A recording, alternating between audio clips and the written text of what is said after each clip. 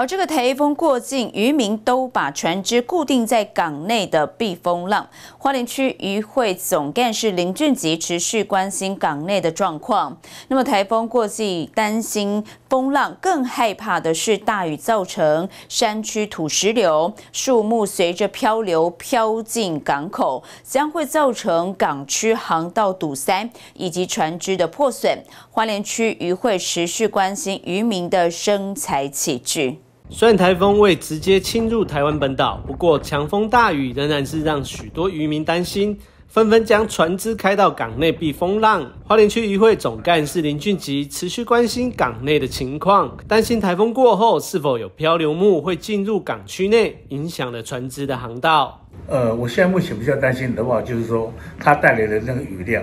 那因为因为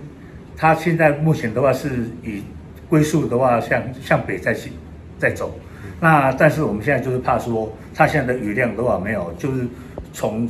从在山区这里的话雨量，那形成的那像如果说暴水暴暴水落涨的话，然后往下流的话没有，我们现在担心这些这些留下来的漂流木的话会往港港区，然后这里然后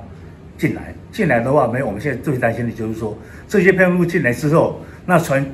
如果台风走了过后之后。船如果要出港的话，没有，现在就是怕说螺旋桨的话又会去打到木头，所以这点是我们渔会现在是目前比较担心的。台风的外围环流和东北季风的影响，时有所闻漂流木塞满渔港的情况，一不小心漂流木就会造成船只的螺旋桨以及船身受损。中度台风马娃的行进路径，大家仍然持续关心。记者林杰花莲市采访报道。